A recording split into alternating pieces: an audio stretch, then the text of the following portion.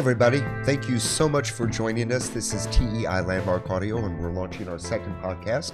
My name is Tori. And I'm Anthony. Hey, Anthony. How you doing today? Doing great. How was your weekend? Uh, you know, the weekend was fairly uneventful. In case you can't tell, I've got, you know, like that miserable cold that's been going around the entire city of Indianapolis for the last few weeks. We've all been sharing that one. Yeah, thank you. Thank you so much for You're sharing welcome. that with me. And I have taken it home and shared it with my family as well.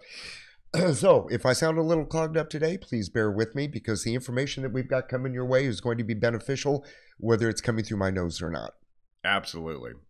All right, so many of you uh, are already familiar with TEI Landmark Audio, and uh, the core of our business is audiobooks. Yes, So, do you want to expand upon that just a little bit for us, Tony? absolutely. Well, with the audiobooks, we also have the playaways. Um, and with the, the playaways and the audiobooks, we have either a purchasing program or a leasing program. And we've just recently expanded into our Makerspace items. Makerspace or STEAM Initiative are um, items that are uh, great for the kids, uh, young adults, and even adult programs.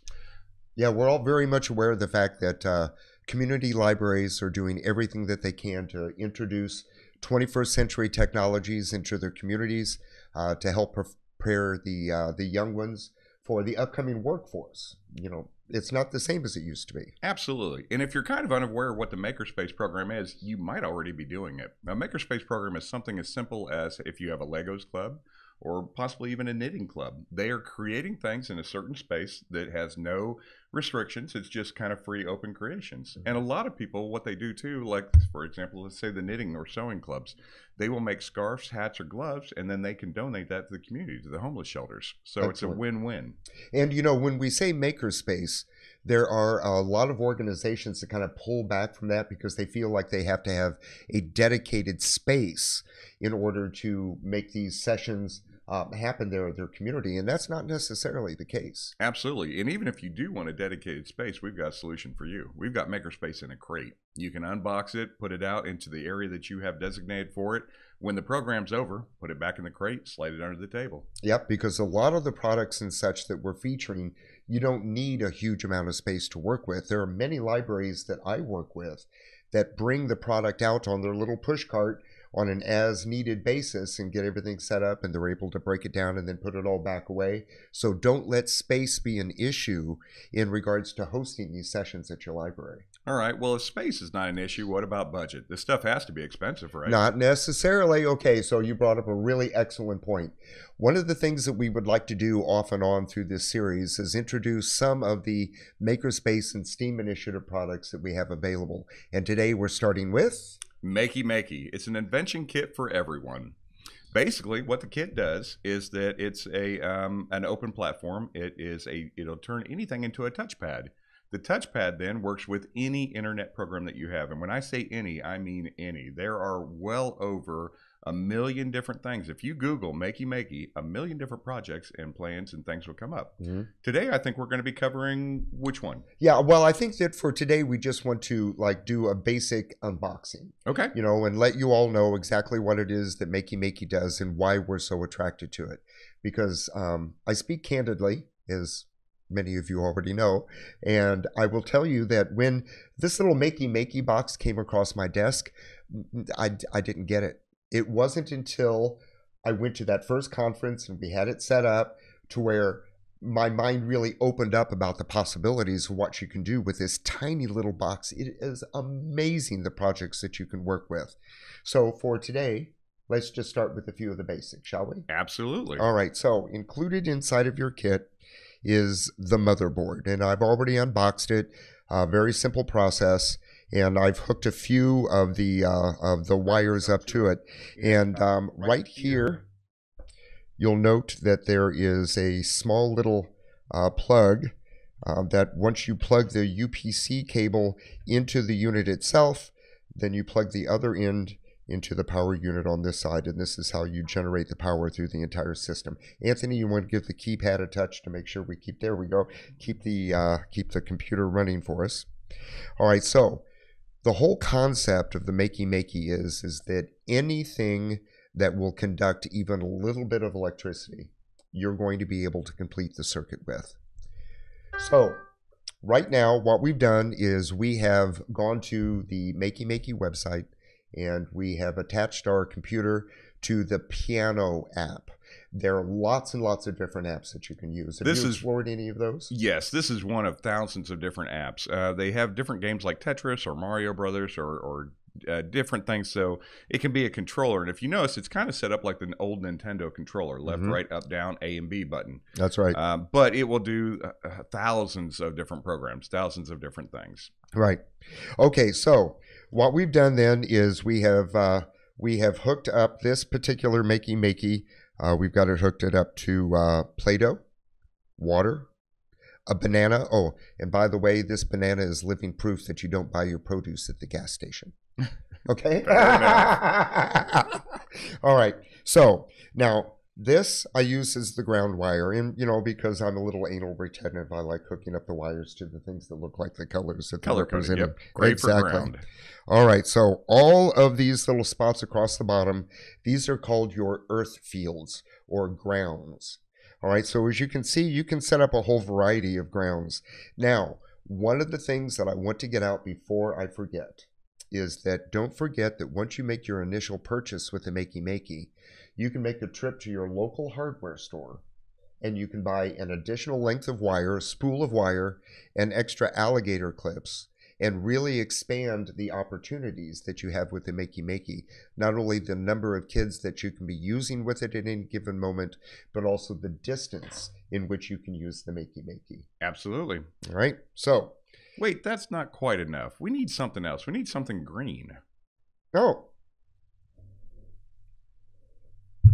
How about a house plant, Anthony? That works for me. All right, so we're going to go ahead and hook this up to our motherboard as well.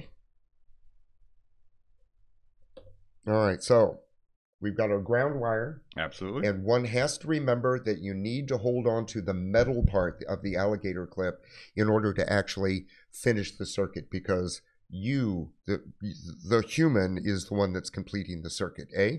So, Play Doh, water, banana, plant. Oh. So anything that will conduct a little bit of electricity. As a matter of fact, Anthony, I was going to say, wait, I'm kind of electric. you are.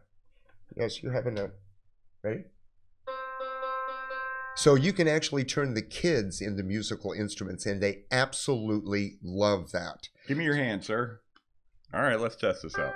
I am still electric. Yeah, you are indeed, my friend, and don't let anyone ever tell you otherwise. Absolutely. All right. So, um, some of the things that uh, we want to share with you in regards to this product is uh, we, when I said, don't forget you can make a trip to your local hardware store. So, you were looking for 22 AWG stranded wire.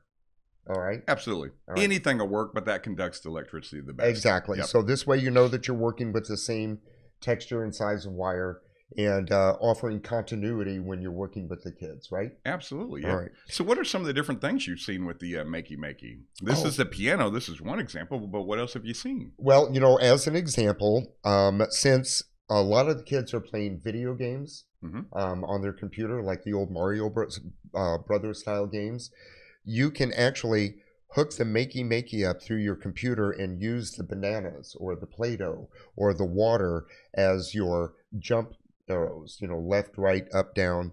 So you're able to incorporate this into a um, into a product that the kids are already familiar with. Absolutely. I saw one librarian that she uh, ran the uh, the ground wire up the handrail. All the kids held onto the handrail, and as they're walking up, she had little uh, aluminum foils on the stairs. And as they hit each step, they were grounded, and then each step lit up a light. It was really pretty cool. Excellent. I worked with a uh, library that, uh, for the launch of their summer reading program, uh, they put some of those um, big plastic wading pools Oh, out in the those. front of the library. Exactly. You know, Mhm. they're great, you know, on a hot Mhm. summer day with a nice cold beer. But anyway, they had the uh, these pools of water set up, and the kids were able to hold you know, the ground wire and go through and splash on the surface of the water, and it played music through the sound system that they had. So this one board will do multiple children. It just the the limit is your imagination. Absolutely. That's Absolutely. awesome. Because as you can see right now, I only have four of the wires set up, and there are actually um, spaces for six different connections. So you can use at least six kids per unit and still have everyone participating. Absolutely. All right.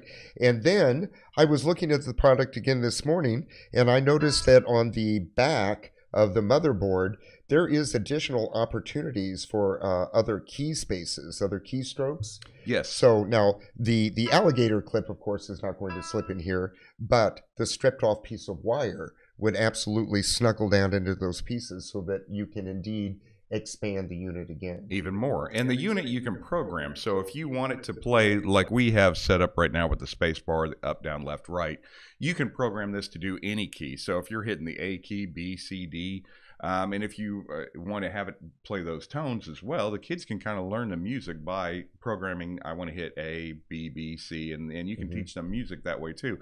So this is programmable. You can change it up, and it's real easy. You just go to Makey Makey, um, and they'll and they'll tell you how to reprogram that. Oh yeah, So- their their website is awesome. They've got all kinds of lesson plans and step by step tutorials. It is amazing what you can do. And we neglected uh, to mention some of the more common materials that you can also use with this. Um, I went to YouTube, which is one of my go to websites when I'm really wanting to investigate some of the products that we have Mhm. because you can type in the name of any of the products that that we're offering here at TEI into the YouTube search channel and be amazed at some of the products uh, and projects that come up. So um, you want to keep in mind that like graphite pencil on paper, so you can actually make electronic art. Um, Very cool. I saw some of the um, some of the uh, videos. There was one where they had uh, um, uh, stomp pads that they had made, where they laid various pads on the ground, you know, so the kids can dance on the pads and Yeah. generate sounds. Balloons, Helium balloons. exactly. They go up and, and touch pieces of aluminum foil up on the ceiling. So these were just a few very rough, very simple examples of the multitude of things that you can do with the Makey Makey. And we do highly encourage you to visit our website at teilandmarkaudio.com and click on Makerspace Steam. And that will direct you to all of the products and services that we have for Makey Makey currently. And don't forget to stop by uh, the Makey Makey website, makeymakey.com, because they've got incredible information already available to them. Absolutely. So, this is the portion of the podcast where we typically take a question or a concern from uh, one of our local libraries, and uh, you can send those questions or comments to podcast at teilandmarkaudio.com. And if we use your comment, do you know what they win? What do they win? Absolutely nothing. Cool. So uh, let's go ahead and take that question. All right. Thank you very much. Yeah, we have a huge production staff behind the camera. Someday we'll introduce you to all of him as well. All right. So, oh, the question is actually from an Ohio library, which is your territory. Excellent. All right. Our question today is What ways have you seen the libraries use the Makey Makey the most effectively? Oh, my. All right. Well, um, speaking candidly, I personally have never been to a library while they've got the Makey Makey product in use. I have, however, seen a huge variety of, um, of videos uh, with, uh, with very creative things that they've done. Um, have you seen the one with the helium balloons? No, I have not. Oh, it's awesome. They even hook it up to the helium balloons. They've got aluminum foil on the ceiling. And as they release and then lower the balloon and it makes contact with the aluminum foil on the ceiling, it continues to play music.